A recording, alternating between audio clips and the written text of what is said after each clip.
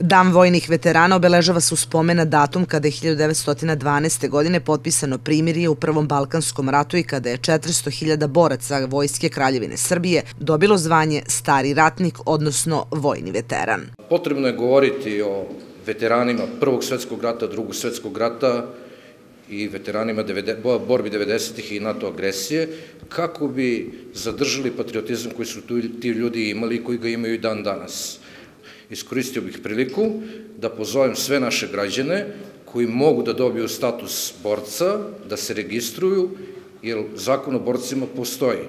Najvratnije će doživeti određene izmene i dopune, kako bi mogli da dobiju svoje benefite vezano za svoj zakon, jako je bitno da se registruju. Pored članova besmrtnog puka o istorijskom aspektu, značaju i vrednostima veterana u Prvom i Drugom svetskom ratu i ratnim sukobima 90-ih na prostoru bivše Jugoslavije, govorili su istoričari Davor Lazarević i Vladica Tošić. Ne smemo nikako da zaboravimo naše stare ratnike, kao prvi termin koji je korišćen e, u zakonodavstvu još 1863. je Srbija jedna od prvih država koja je i imala zakonodavstvo koje se bavilo temom vojnih e, ratnih veterana.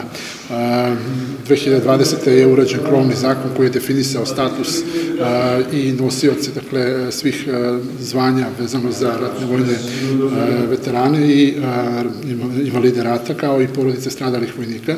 Tako da večeras iz šireg sociološkog, istorijskog konteksta možemo da govorimo i o Prvom i o Drugom svetskom ratu upravo kroz život naših vojnih i ratnih veterana.